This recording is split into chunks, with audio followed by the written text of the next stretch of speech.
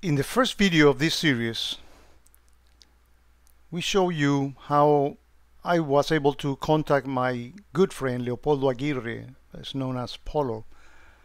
He's a wizard in networking and say, Polo, let's uh, separate the network at home using this uh, pfSense device uh, to have the insecure devices, the IoT, in the LAN 1 for this Wi-Fi, which is the one that I had already. And then I put another Wi-Fi and put in the two network my secure devices. And now what we are going to show you is what is it that we did to send flows from both networks into QRadar. And you say, why do you want to do that? Well, I want to know my network at home. I want to understand what my IoT devices are doing, who are they talking, what port are they using. I want to know more networking at home and more networking itself by using this setup. But I don't have logs in my house. Like in a corporation, you have applications that send logs. I don't have any of that, nor I want to have that. Well, with the exception that I, we might be getting some logs from pfSense as well. We're going to explore that with Polo later.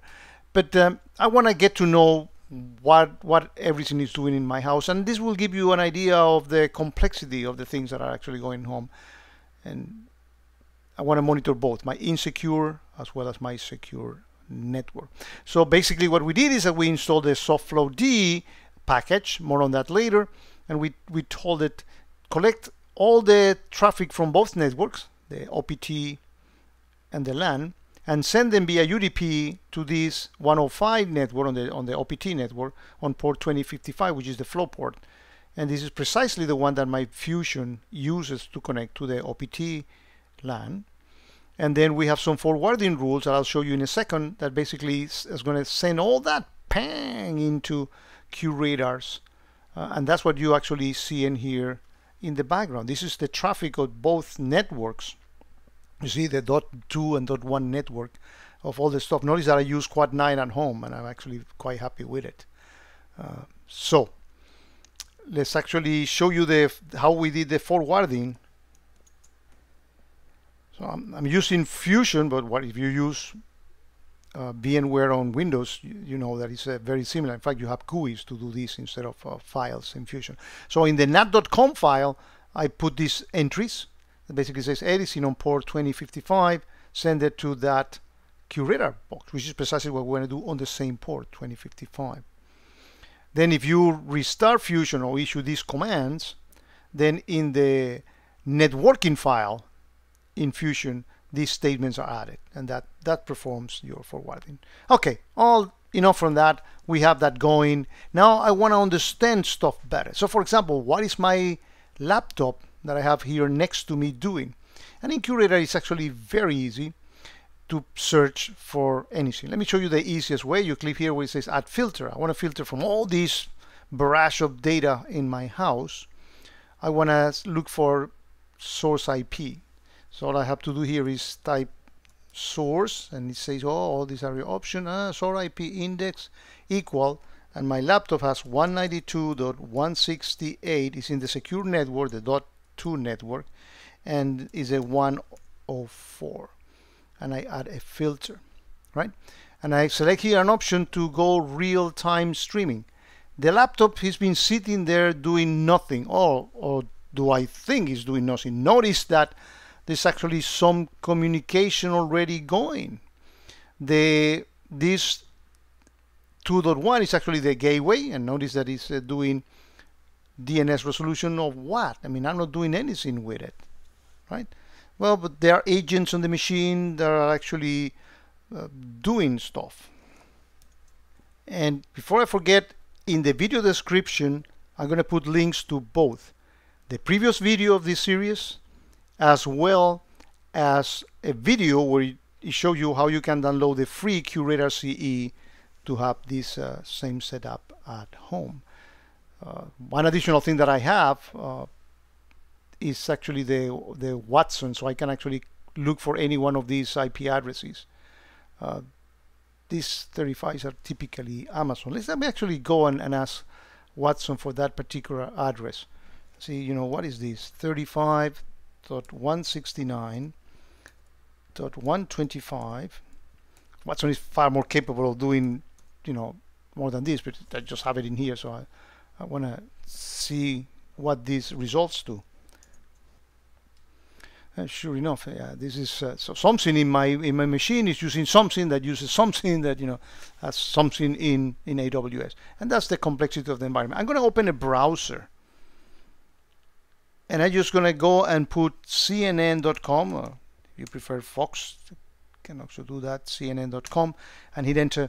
And, and you will expect that I will be getting just a DNS query for 53 por 53 to get the IP address of CNN.com and then the CNN.com. Well, let's see how much traffic does that generates.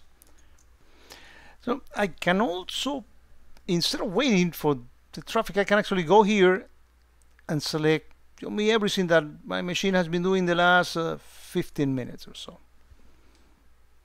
Whoa, two pages of all this type of traffic. That is actually very nice you can actually I can actually sort this by where is it that this is actually going.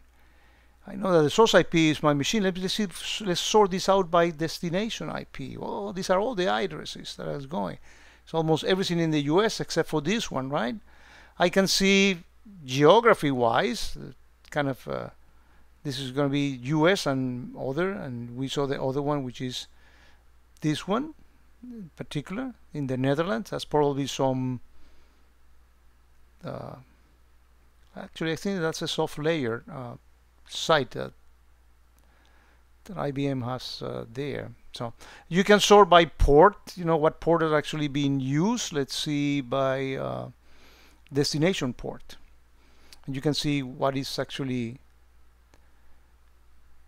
being done encrypted oh look there's some still stuff going on port 80 not much. Notice that you get also the sum of bytes. So you see how much traffic is actually going back and forth. So you can get to know your your devices, you know, very nicely.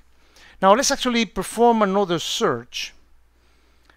Uh, let's go back here and do a search. Notice that Quad 9 is the, the DNS resolver that we use uh, at home. So actually we're quite happy with it let's actually search for one of my uh, IoT devices. So again, I'm going to sort by source IP, type source IP, and I can make it, uh, it is 192.168 is the dot one, which is the LAN, the insecure network. And the address of one of my cameras is 115. It's actually that as the filter and uh, let's go back in time 45 minutes and see what my camera has actually been doing. Look at that. All that traffic. Are my cameras talking to China? Well let me actually sort that out by geography. Let's see. Well good well notice this is interesting I this other in here what is that other notice the destination IP is 192.168.1.1 that's actually my gateway right so I'm not interested on that. So in any part of the search, you can right click and do filter when destination is not that because I'm not interested on that part and you get only that segment. Notice how cool this is, how easy you can get to know your network better and get to learn networking using your free QRadar CE.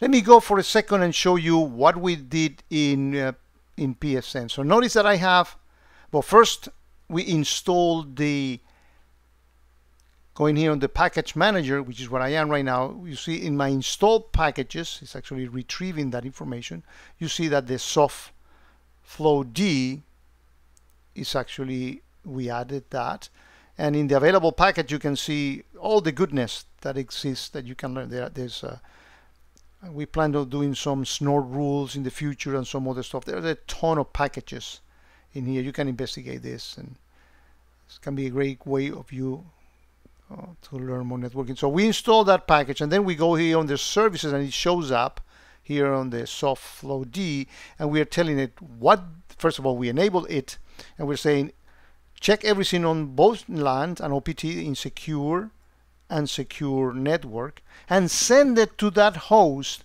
which is the IP address of my VMware Fusion connecting to the same LAN. That's how easy it is for you to use your free QRadar CE at home, not only to have your network more secure, but also to investigate what is actually going on and get to increase your networking practical knowledge with it.